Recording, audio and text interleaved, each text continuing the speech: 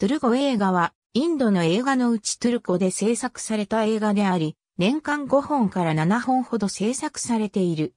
コースタルウッドの通称で知られ、1971年公開のエンナ・サンガディが最初のトゥル語映画であり、映画は主にトゥルナードの劇場で上映されている。現在では、マンガロール、ウドゥピ、ムンバイ、湾岸諸国でも上映される産業に成長した。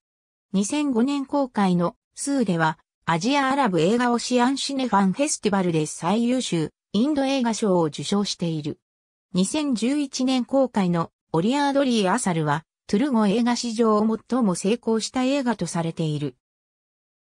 トゥル語映画で最も上映時間が長い作品は、チャリー・ポリルの155分であり、マンガロールの PVR シネマズでは470日間上映されるなど、トゥル語映画最も興行的な成功を収めた映画とされている。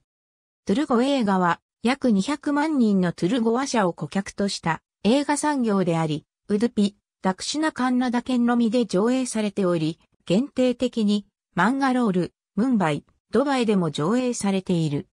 このため、トゥルゴ映画は観客優位の産業構造となっており、映画制作者は自身の創造性よりも観客が望む内容の映画を制作することを求められている。1971年から2011年にかけて制作されたトゥルゴ映画は45本のみだったが、2012年から2016年にかけては21本制作されている。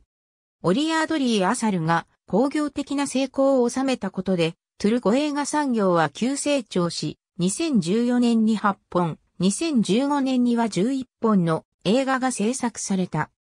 2014年公開のマジメはマラーティー語映画でリメイクされ、多言語映画でリメイクされた最初のトゥル語映画となり、シャットルデュライはトゥル語でリメイクされた最初の作品となった。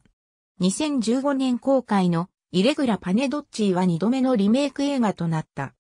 2016年公開のテルグ語映画、ブラモツアバムでは、バマナ・ナンダーバラが作曲したトゥル語ヒット曲、A、レレ、イエラグ・マットムが無断使用されたとして250万ルピーの賠償金と制作者プラサード、V ポトルリの謝罪を求めて訴訟を起こしている。